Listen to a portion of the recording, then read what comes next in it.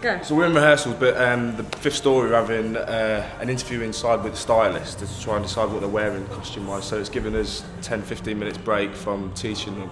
So we've now uh, took Kenzie's phone and now abusing it. I think this is starting a trend off. I hope it does. I hope people watch and they learn.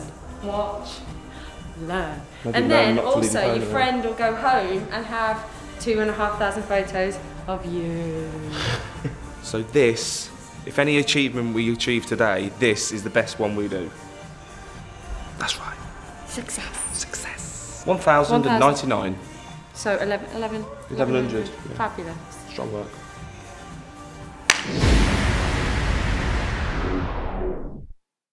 Make sure you click subscribe to the Big Reunion YouTube channel to check out more backstage gossip here at the Big Reunion 2014.